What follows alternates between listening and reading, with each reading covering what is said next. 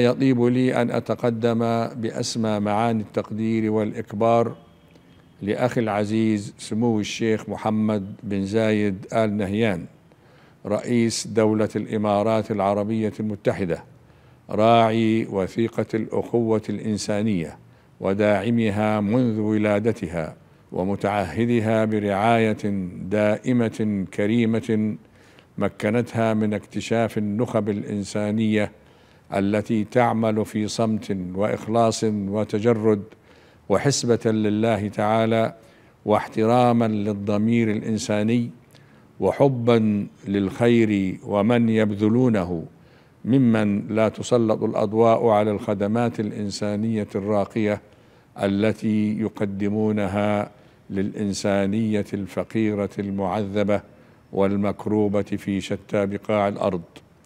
وبغض النظر عن اختلاف أعراقهم وأديانهم وأذواقهم ومشاربهم.